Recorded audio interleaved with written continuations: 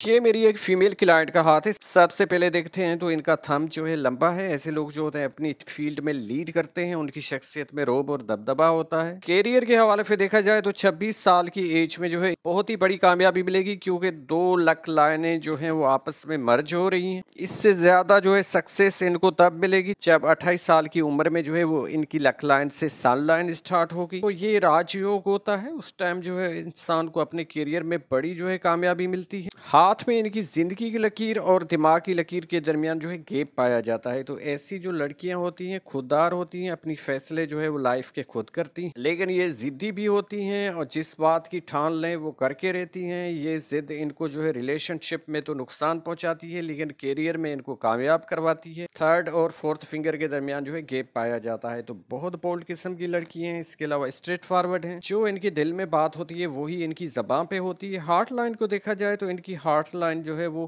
Dark नुमा चल रही है, हल्की चैन नुमा है। तो ऐसी लड़कियाँ जो होती हैं सेंसिटिव पर्सन होती हैं, थोड़ी सी बात पे माइंड कर जाती हैं और लोग इनको हर्ट भी बहुत करते हैं।